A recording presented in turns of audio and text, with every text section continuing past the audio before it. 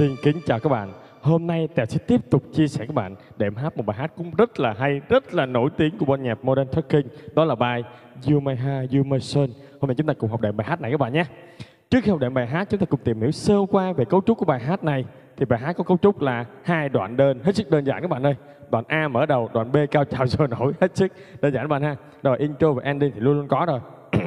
à, chúng ta cùng điểm, cùng ôn tập lại một cái mẫu đệm để mình áp dụng cho bài này Bài này chúng ta sẽ đệm ở điệu disco tempo khoảng 115 các bạn ha.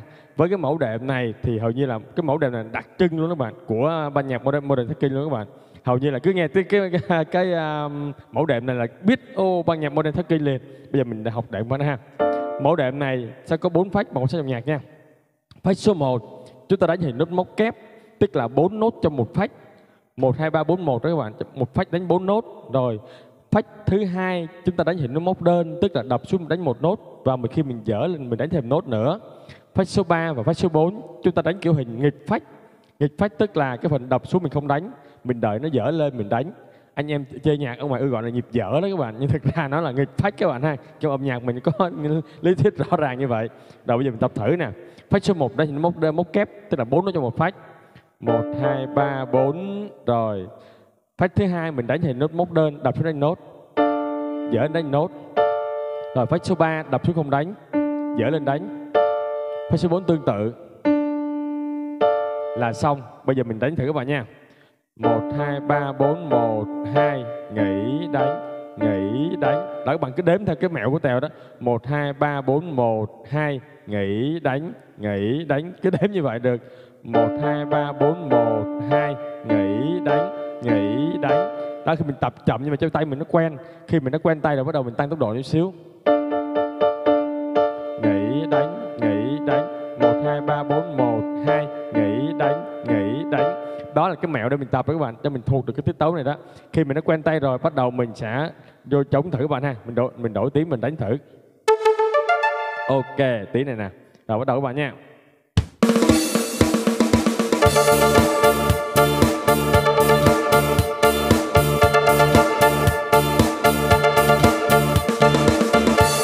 Khi mình quen tay đồng di chuyển hợp âm, mình chuyển hợp âm ngay phép số 1 thôi.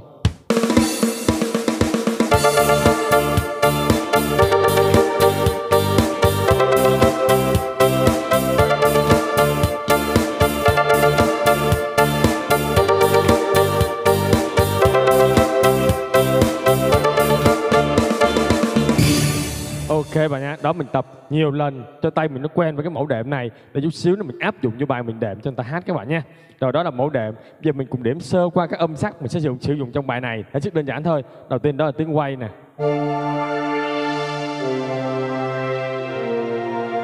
Rồi tiếng tiếp theo mình sử dụng đó là tiếng mình trộn hai tiếng với nhau. Mình lấy tiếng piano á. Rồi mình đến rai một tiếng piano nha. Rồi rai hai cái mình chọn tiếng quay, mình trộn hai tiếng với nhau lại mình đánh. Nghe đã và đang nghe bên mông bát ngát ha. Rồi tiếng tiếp theo sử dụng đó là tiếng hit các bạn nhé. Để khi mình kết bài hay là gì đó mình muốn cần à, tút ti đó, mình lấy tiếng này mình tút ti. Ok. Với điệu disco này các bạn chọn thêm tính năng multipass, các bạn bấm cho multipass nè, chọn cho mình cái tính năng là disco guitar. Bây giờ mình nghe hiệu ứng của nó thử nha.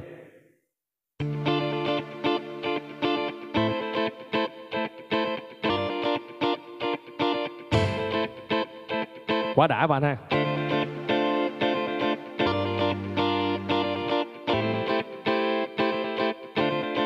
Đó, có bốn hiệu ứng, bạn chọn hiệu ứng nào cũng được trên đó. khi mình mở trống lên rồi, bắt đầu mình nhấn multipass cho nó trộn vô. Nghe nó đầy đặn các bạn ha. Có một ông guitar ông đang chặt guitar giùm mình như luôn. Quá đã các bạn ha. Mẫu đệm sẵn rồi. Đó là các phần cần chuẩn bị. Bây giờ mình cùng đến với bài You May Ha You May Sun của ban nhạc Modern Talking mình cùng đến phần intro các bạn ha. Các bạn quan sát dòng nhạc còn nhớ nha đánh điệu disco tempo 115 khoảng đó thôi nha. Rồi bắt đầu mình tập câu số 1 bài này mình để ở tông rê thứ. À, tông rê thứ sẽ có một dấu hóa đó là nốt si dáng. Bây giờ mình cùng chạy gam sơ các bạn ha. Tại sao mà cứ mỗi lần đánh cái, một cái tông nào đó là tại ưa chia sẻ bằng cách chạy gam? Mình phải chạy gam để mình định hình lại được cái thang âm các cái âm có trong cái thang âm của cái tông đó để mình đánh không bị lạc âm các bạn ha. Ví dụ tông rê thứ đó là mình mình chạy gam xong là mình biết à mình sẽ đánh những cái nốt này ở trong cái tông này. Ví dụ không có nốt này nó không có nốt này nó không có nốt này ví dụ như vậy. Đó mình phải biết để mình đánh không bị lạc tông như vậy các bạn ha. Rồi bắt đầu mình xếp ngón như sau. Ngón cái xếp vào nốt la ngón trỏ xếp vào nốt đô các ngón này xếp đều vô. Rồi luôn luôn cong tròn đều đẹp các bạn nhé. Đừng đánh mà dành dãy cái ngón người ta nhìn người ta, người ta cười chết luôn. Ok mình bắt đầu phách số 1 luôn. Rê mi phá mi đô sòn phát số 1 của các bạn nha ngón ngón giữa nha. Rê mi phá mi đô sòn. Quá dễ bạn ơi. Intro, rất đơn giản mà cực kỳ hay bạn ha. Rê mi phá mi đô sòn. Quá đơn giản vậy là xong có hai ô nhịp đó bạn, thấy dễ không? Dòng trên đơn giản thôi đó. Rồi, mình làm lại nha. Bạn chuẩn bị bấm âm thứ của mình.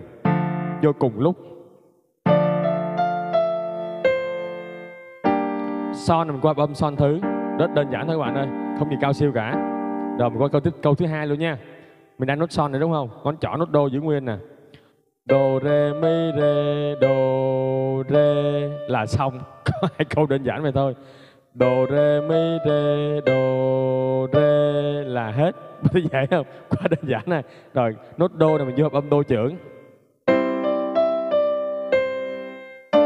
Rồi rê về rê thứ là là hết hết dòng chơi đó bạn thấy dễ không? Quá đơn giản ha. Bây giờ mình sẽ nối hai câu lại nhau chuẩn bị hợp âm rê thứ nào. Rê mi fa mi đô son. Son hôm qua son son thứ. Rồi tiếp tục đô vô chung ô nhịp. Kéo nốt son này hết ô nhịp luôn các bạn nha. Rồi qua nhịp tiếp theo mới vô, vô đô trưởng nha.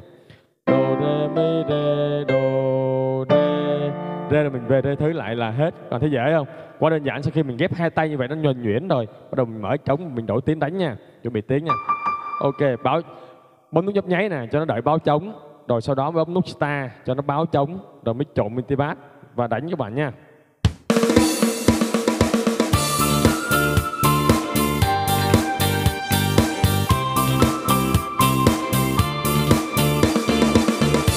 Dễ bạn, quá đơn giản ha. Lần nữa nè.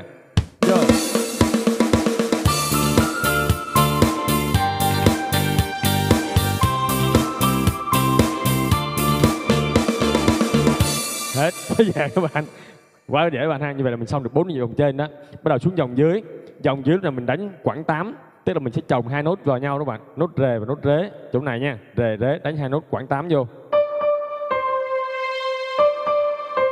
Đánh tiết tấu à, đảo phách các bạn nha. Rế rế, đô. Rế rế, đô. Nhớ nha. Rế rế, đô. Rồi mình kéo dài cái nốt đô này cho nó qua ô nhịp tiếp theo luôn. Hết ô nhịp tiếp theo luôn các bạn nhớ nha. Rế rế, đô. Hợp âm mình cũng tương tự vậy cũng rế rế, đô. Đi chung luôn. Rế rế, đô, hai tay. Quá dễ bạn ha. Hợp âm cũng đi chung giống nhau luôn. Rồi mình kéo dài cho nó qua ô nhịp tiếp theo, hết ô nhịp tiếp theo luôn. Rồi tiếp tục. Đô đô, xì. Đô đô, xì. Cũng khoảng 8 các bạn nhé. Đô đô, xì. Xì dáng nha. Rồi mình kéo dài cho hết ô nhịp tiếp theo luôn. Quá đơn giản bạn ơi vậy là mình xong rồi đó. Hợp âm cũng tương tự. Đô đô si, qua si dáng trưởng. Đô đô si Si dáng trưởng. Đây. Rồi cũng kéo dài cho nên qua ô nhịp tiếp theo hết luôn. Lúc đó các bạn báo trống bấm nút xin top. Mình dành nhẹ cái. Rê đồ rê đồ rê là rê thứ nè. Đô là đô trưởng nè. Rồi bắt đầu ca sĩ vào hát. Rê đồ ta ra ra ra ta ta ta ra quá dễ bạn ha. Bây giờ mình đánh cái dòng dưới một sao thật kỹ nha.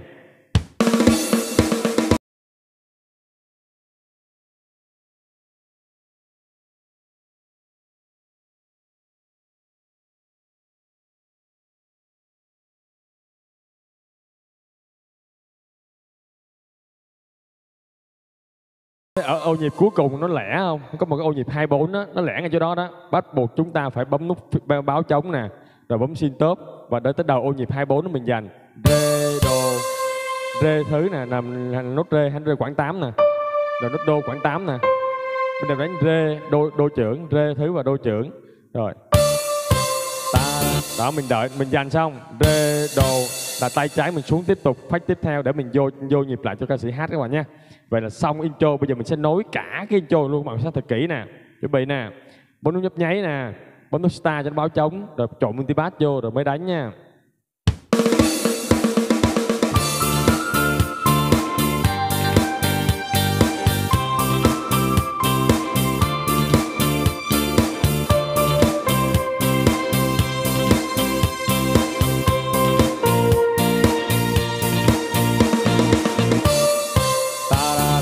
Quá dễ bạn ha nhớ dành xong. Ta là tay trái mình vô nữa đó các bạn nha. Rê, đồ, chuẩn bị vô cái rê thứ nữa cho người ta vô hát đó các bạn ơi, chuẩn bị nha. Như vậy là mình xong được cái đoạn intro, các bạn thấy dễ không? Quá đơn giản bạn ha. Bây giờ mình xong intro, bây giờ mình chuyển qua đoạn a của bài hát. Đoạn a bài hát lúc này mình chẳng làm gì cả, mình lấy tiếng quay hồi nãy đó các bạn. Mình chỉ bấm hợp âm cái nền theo thôi. Ta ra ta ta ta ta ra ta ra ta ra các bạn để với mình nè nó có một cái mẹo để mình dễ nhớ hợp âm lắm. Tức là có hai ô nhịp rê thứ rồi đến hai ô nhịp la thứ. À, hai ô nhịp à, rê thứ đến hai ô nhịp la thứ. Đó là mình rất là dễ nhớ bạn hàng dòng trên nó cứ hai rê hai la hai rê hai la. Rất dễ nhớ tám ô nhịp là xong. Quá dễ bạn hàng về đẹp dòng trên nha. Trộn mình tí bát cho luôn nha.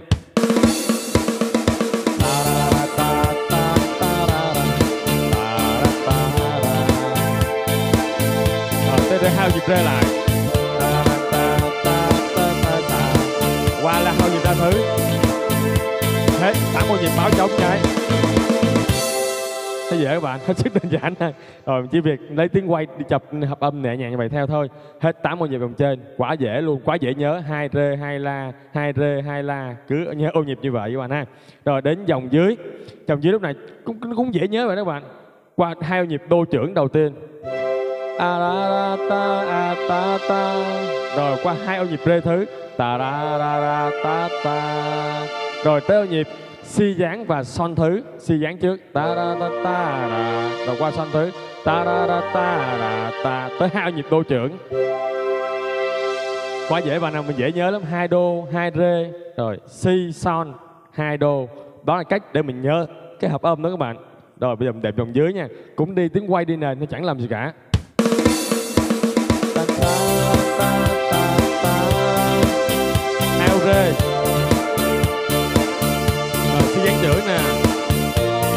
thanh thứ nè. Đô chữ hai ô nè.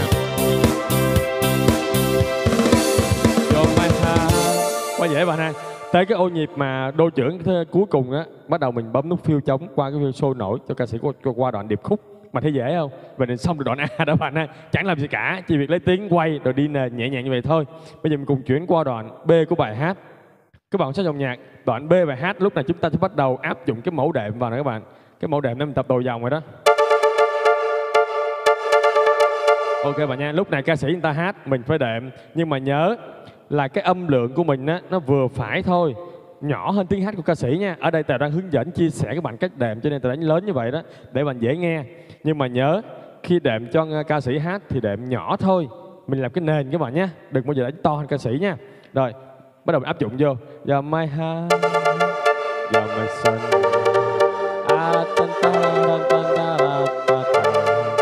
này chúng ta sẽ đánh à, tập cái mẫu đệm này theo cái hợp âm ghi sẵn như vậy. Mình dễ nhớ nè bốn nhịp nè Rê, son, đô, rê Có một cái mẹo để các bạn nhớ đó bốn nhịp đầu nè Rê, son, đô, rê Rồi tới bốn nhịp tiếp theo cũng rê, son, đô Và thêm hai ô đô nữa nó liên tục nhau Rê, son, đô, đô, đô, đô, đô này Rồi đó mình dễ nhớ.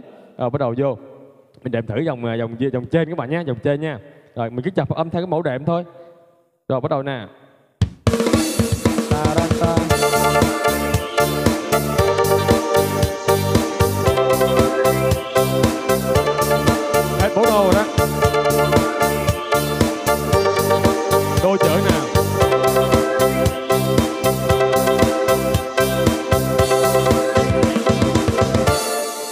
Đó nhịp đô trưởng cuối cùng nó bắt đầu mình báo trống, tiếp tục qua đoạn B nhưng mà xuống dòng dưới. Bạn thấy dễ không? Chẳng làm gì cả, bạn đang chập cái mẫu đệm nhẹ nhàng về thôi. Rồi, xuống dòng dưới. Lúc này chúng ta cũng chập cái mẫu đệm và theo hợp âm như vậy thôi còn dễ nhớ nữa. Rê son đô rê bốn ô nhịp. Rê son đô rê rồi, tiếp theo, tới bốn nhịp. Rê son đô rê dòng dưới này nó lặp lại hai lần như vậy. Quá đơn giản, bạn hăng mình dễ nhớ. Cái mẹo đó để mình nhớ hợp âm. Nó có cái vòng cái rê son đô rê hai lần là xong bây giờ mình đệm dòng dưới bạn ha. Mình cứ chập hợp âm như vậy thôi. Còn cái việc hát á, là việc của ca sĩ. Còn mình nhưng mình lo đệm nè mình lo nhớ hợp âm nè để cái bài bài đệm của mình nghe nó hay các bạn nha còn cái hát thì của ca sĩ đừng có lo. Mình cứ đệm đúng cái hợp âm theo cái ô nhịp đi. Tại vì cái bài hát của ca sĩ người ta ghi nó đã theo ô nhịp sẵn rồi. Ở đây các bạn cứ đệm hợp âm ta đúng ô nhịp là tự nhiên cái giọng hát người ta hát là nó vô à. Khỏi cần phải lo giọng hát các bạn nha. Bắt đầu đệm dòng dưới nha.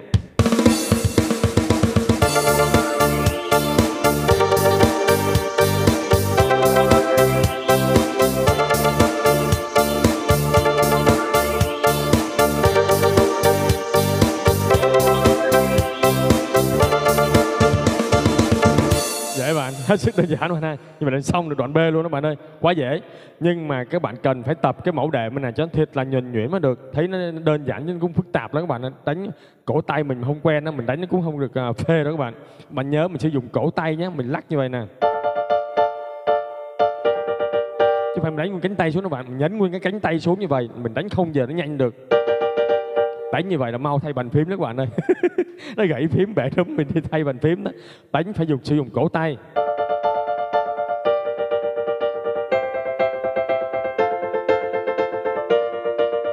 Thấy rõ ràng những cái nhanh như vậy mình không thể nào đánh những cái cánh tay được. Mình sử dụng cổ tay thôi các bạn nhé. Nhớ nha tập mẫu đệm thật kỹ. Rồi Tèo vừa chia sẻ các bạn cách đệm hát bài Yomeha Yomeson đến cái đoạn gian tấu các bạn nhớ mình sẽ đánh lại câu intro ca sĩ hát từ từ đầu thôi. Đến cái đoạn ending đoạn ending theo trong theo trong bài của ca sĩ á, thì họ sẽ hát nhỏ dần nhỏ dần xuống. Nhưng mà nếu chúng ta đệm hát ở ngoài sân khấu thì mình nhỏ dần nhỏ dần nó cũng rất là kỳ. Vì vậy chúng ta đánh câu intro lại để mình làm kết bài các bạn ha rồi đánh, em mình đánh cái phần à, ending thử ha.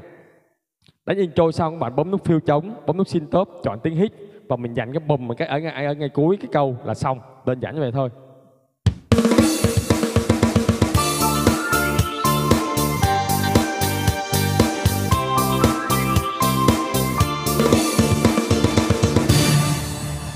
Hết, đơn giản mà đâu. Các bạn có thể đánh là hai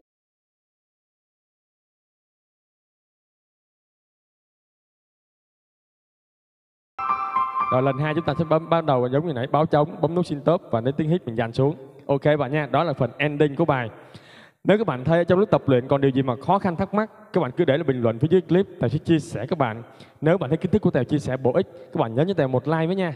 Rồi bấm nút đăng ký kênh của Tèo. Piano luôn sẵn tiền mình giới thiệu cho anh em bạn bè của mình biết về kênh của, của Tèo với. Tèo cảm ơn các bạn rất là nhiều.